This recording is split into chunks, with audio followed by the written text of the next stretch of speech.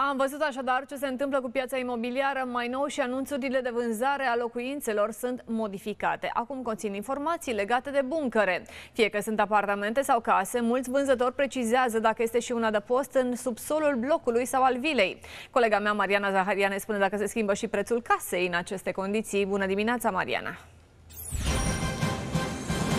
Bun găsit la o simplă căutare pe site-urile de profil din țară, vedem că anunțurile au fost adaptate.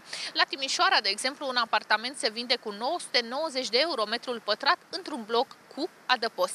De fapt, ă, apartamentul care are 60 de metri pătrați se vinde la pachet cu un demisol de 30 de metri pătrați, care este recomandat că poate fi folosit ca și adăpost. Asta înseamnă, evident, automat un preț mai mare. Anunțurile asemănătoare sunt ă, și la Iași, acolo unde vânzătorii recomandă ă, să fie cumpărate locuri de parcare subterane ca să fie folosite pe post de adăpost. Aici, metrul pătrat costă peste 1500 de euro.